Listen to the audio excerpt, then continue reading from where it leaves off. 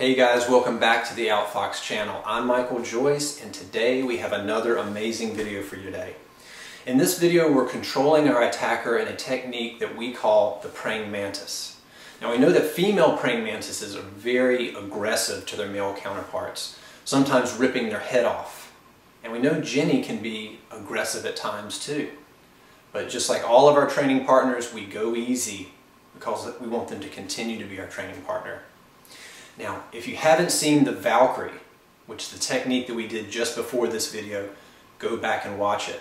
The Valkyrie is a strong position that bridges the gap between our attacker and ourself. And it enables us to be in a strong, confident position in order to perform this technique and get the better of our opponent. If you haven't seen it, pause the video. Go back and see it. We'll wait. To those that left, welcome back. Now, what is the praying mantis and why do we need it? Well, as we know from the last video, the Valkyrie is a temporary barrier, right? And what happens in real violence, real world violence, is that it's ugly, fast, powerful, and unrelenting. The only way to make this manageable is to be able to control ourselves, control our opponent, and be able to control and manage the distance between us. Now remember this because this is very empowering. When you're confident enough in your technique, that is to say the way you move, your ability to maintain a non-collapsible frame, to redirect force and be successful, then you're not likely to hesitate. Hesitation comes from us not knowing what to do or what to do next. Now this is the perfect segue into practice. And make practicing fun. Practice with your sibling, your friend, your spouse. Because when you've practiced enough, you will act in the moment instinctively and be in a strong position. You'll have the upper hand. You'll have the advantage. Wow. Let's just take a moment and let that sink in, shall we? From the standard Valkyrie position, your right arm is across his collarbone, with the edge of your forearm pressed like a sword against his neck, complete with a non-bending elbow. Then you are going to change your hand position at the wrists from extended to hooked, one around the neck, the other around the tricep. Both elbows pulled downward as we drop our body weight downward, emphasizing a downward pull on the opponent's head. Remember to be kind to your training partner. Also remember that in a real life situation, this motion is and should be powerful and your drop sudden, jerking him downward and off balance.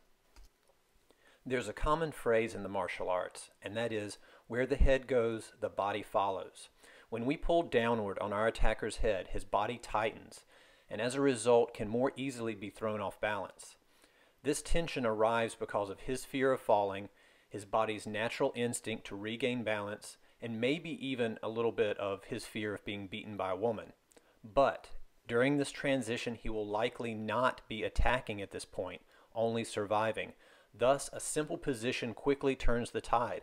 The predator walks in thinking he's the predator and you're his prey, but you switch it. You outfox him.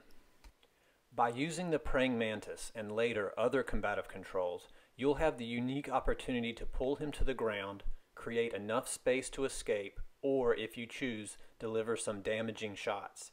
Remember in training, aim for the back of the head or the neck, but only make soft contact. Exercise good body control and allow your fist to drop like a hammer as you drop your body weight downward.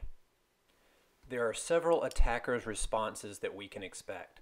Number one, him pushing forward in which case we can move and redirect. Number two, him pulling back, by which we can adhere, push him back, making space to run or escape. Number three, dropping down to grab your leg. Now this is something that you should expect because as you pull him downward, your leg is the only thing that he can use to get you to the ground. Make sure you create the habit of moving it out of reach. Remember, we do not want to be pulled to the ground if we can help it. Number four, him trying to pry off your sword arm. In this case, we use heavy elbows.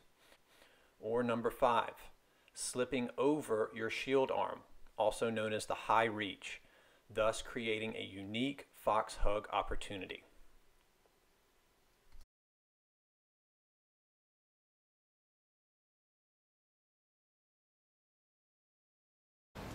Stop. Stay back.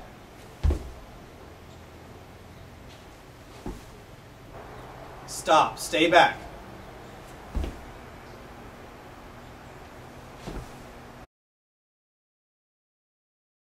Okay, guys, thanks for watching. If you want any more information, if you want to hone your skills, if you want to review anything that we've gone over so far in the Outfoxxed program, it's all on our website, outfoxxed.com. Go to the blog, sign up for the free newsletter. It's all there in the description box below. Okay, guys, stay safe, practice smart. And stay foxy. See you guys next time. Bye. Bye. Smash, smash, smash.